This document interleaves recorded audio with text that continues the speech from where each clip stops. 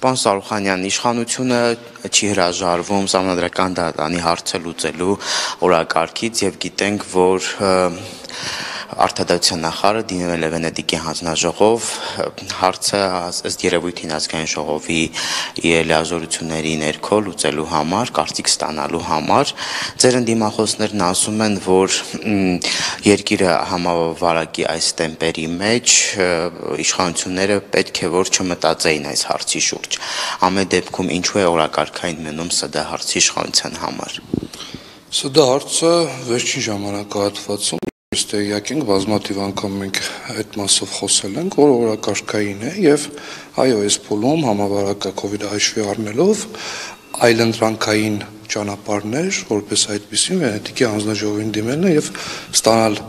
որոշակի համաձայնություն, փոխ համաձայնություն, որպիսի այլ մեխանիզմներով մենք փորձենք այդ հարցին կարգավորումը ստանալ։ Այսինքն այս պայմաններում, երբ հա մարդիկ մի մասը մտածում է աշխատանքի մասին, մի մասը ինչ առողջական խնդիրներ ունի, ձեր ընդդիմախոսները եւ քննադատությունը այս տեսանկյունից է, որ իշխանությունը ցա այսպես ասած չպետք է գոնե այս փուլում հուզեր։ Այդ ամենը կատարվում է զուգահեռ, այնպես չի որ մենք երկրում ունենք բազմաթիվ այլ հարցեր, որոնք նաև զուգահեռաբար կատարվում են, այնպես չի որ մենակ պետք է կենտրոնանալ մի ուղությամբ։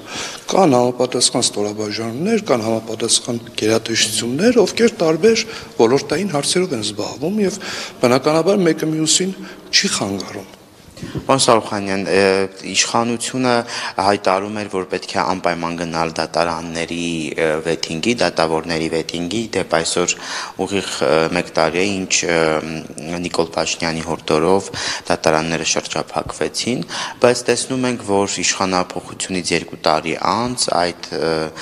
վեթինգը դեռևս տեղի չի ունեցել։ Հապաղման գործընթաց է, թե իշխանությունը ամեն դեպքում հրաժարվել է նախկինում հայտարարված վեթինգի գործընթացից ընթացից։ Տեսեք, վերջերս երևի նկատել եք վարչապետի եւ արտադրության նախարարի միասին զրույցի ընթացքում այնտեղ ֆիքսվեց մի բան, որ process-ը, այն որ մենք այդ process-ին գնալու ենք, միանշանակ է, բայց ուղիները տարբեր են, այսինքն պետք է համանadarakan փոփոխություններ, փոփոխությունների արդյունքում նոր այդ ամենը կիրականացվի, բայց այն որ պատրաստակամությունը կա, այսինքն մեսիջը կա իշխանության կողմից, դա այդպես է։ Դա որևէ բան չի փոխվել, էլի իմ ասած այնց դա է ձեր ձեզ վստահության քվե տված մարդկանց մեծամասնությունը հիասթափվում է նաև այն հանգամանքից, որ նախկինում նախկին պաշտոնյաները ովքեր որ անցնում են իրավական տարբեր ոլորտներով, մեկ էլ հանկարծ սպառվում է, որ երկրում չեն։ Եթե չեմ սխալվում, այսօր մամուլը գրել է, որ հիմա Ռուբեն Հայրապետյանը եւ Որթին են լքել երկիրը։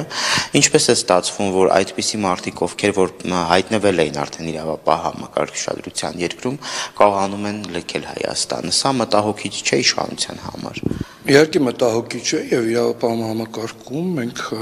բազմաթիվ անգամ ասել ենք, որ դերացումներ կան եւ պետք է նաեւ հաշվի առնել, որ դա այն համակարգն է, որտեղ որ իշ սպეციფիկ սպეციფիկան կա եւ շատերը նաեւ միջին օղակներում ոչ միայն իրավապահ համակարգում, այլ շատ այլ պետական կառավարման համակարգում միջին ուղակում կան մարդիկ, կան պաշտոնյաներ, ովքեր սաբոտաժներ են անում եւ քանի որ ես ամենայն մանրամասնությամբ տեղյակ չեմ, թե ոնց է եղել եւ այլն չեմ կարող այլ մեկնաբանել, բայց այն որ թերացումներ կան ոլորտում, դա բոլորս հասկանում եւ ֆիքսում ենք Եվ սա ըստ ձեզ պատճառ կարող է լինել հանգամանքի համար, որ իշխանության վարկանիշը անկում ապրի, այսինքն մարդիկ տեսնեն, որ իրավապահների ուշադրության կենտրոնից նախկինները կամ առհասարակ այս մարդիկ հեռանում են եւ այսպես իշխանության վարկանիշը գնալով անկում ապրի։ Կա նման մտահոգություն։ Իշխանության վարկանիշը անկում չի ապրում ու չի ապրելու։ Ես դա ձեզ վստահեցնում եմ հիմա էլ նման բան որևէ մտահոգություն չկա Քայլերը ձեր այնքան տեղին արդարացված են, որ նման խնդիր Քայլերը արդարացված են եւ ժողովուրդը դուք որ նշում եք մեծամասնությունը, դա մեծամասնության կարծիքը չէ։ Այսինքն շատ շատերը նաև ընկալում են եւ հասկանում են, թե այն ինչ կատարում է Հայաստանում այս փուլում։ Հեղափոխությունը եղել եւ շատ կարելի ասել այդ դրանից հետո մանավանդ նման process-ներում այդ ամեն ինչը կարող եք ասել անխուսափելի է բայց իշխանությունը կարևորը այն է որ ամեն ինչ անում է այդ process-ները շտկելու համար Եվ գալով կորոնավիրուսի թեմային, Շիրակի մարզում ինչպիսին է իրավիճակը, մարդկանց տրամադրվածությունը, աշխատանքի դուրս գալիս են, պահում են բարետի կանոնները։ Ասեմ, որ դե բնականաբար խախտողներ կլինեն, բայց մտահոգությունը այն է, որ Շիրակի մարզում Արավանդ Գյումրի քաղաքում, ինչպես տեղյակ ենք, վերջին 2-3 տարիներում բավականին տուրիստական հոսք կար եւ վիճակով պայմանավորված այդ հոսքը չկա, բնականաբար սպասարկման ոլորտի շատ օբյեկտներ, աշխատանք եւ այլն այս բային դատարացված է մտահոգություններ կան, բայց իմ կարծիքով կկարգավորվի ուղղակի ժամանակի հարց է։ Մեր ժողովրդին ես համբերություն եմ ցանկանում։